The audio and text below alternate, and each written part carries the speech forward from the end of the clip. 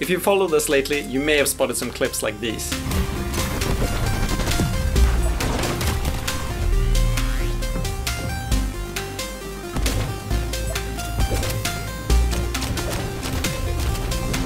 This is done by playing Blaston using LIV. Let me tell you how it works. LIV is an integration that we added to the Steam version of Blaston earlier this year. It enables players to film themselves within a VR space and choose where they want the camera to be placed. This is especially useful for content creators to showcase the game in a less hectic way than a first person point of view. It also allows for content creators to display their live chat within the game. If you don't have a camera, you can instead have an avatar to represent yourself in the game using sensors.